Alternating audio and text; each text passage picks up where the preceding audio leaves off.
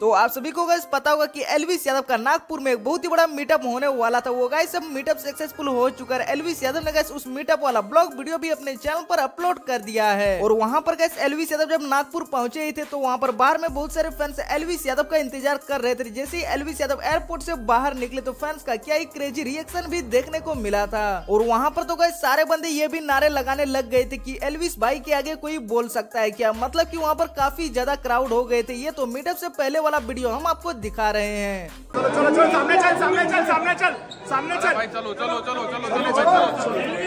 आगे कोई बोल सकता है क्या?